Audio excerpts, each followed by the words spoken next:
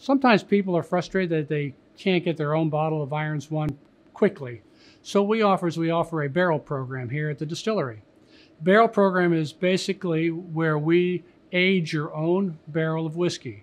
We have multiple sizes from 5 liters, 10 liters, 5 gallons, and 10 gallons. You can come here and basically reserve your barrel and you pay for the whiskey once you agree it's ready. And also, too, we special batch name each bottle for you.